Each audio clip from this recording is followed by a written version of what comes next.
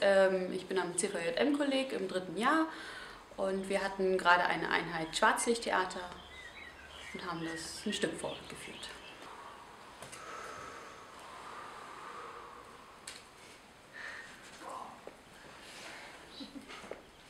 Ich hatte selbst äh, die Weltkugel mit entstehen lassen als Puzzle und habe die böse Schlange geführt.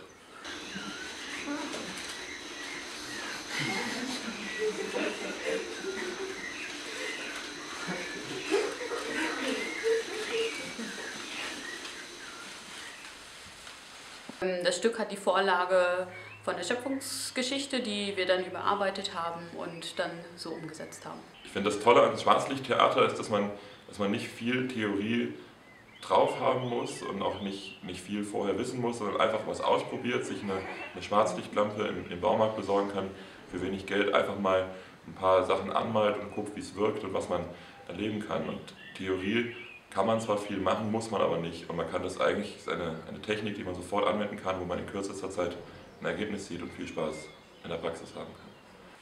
Die Herausforderung ist, dass man mit Schwarzlicht natürlich viele, viele Möglichkeiten hat, was umzusetzen, viel mehr als wenn man, wenn man ohne Schwarzlicht arbeitet und jetzt in der Geschichte Elemente zu finden, die man schweben lassen kann, die man fliegen lassen kann, mit denen man eine, einfach ein, ein schönes Bild erzeugen kann und gleichzeitig das Ganze auf so einem kleinen Raum darzustellen mit den begrenzten Möglichkeiten.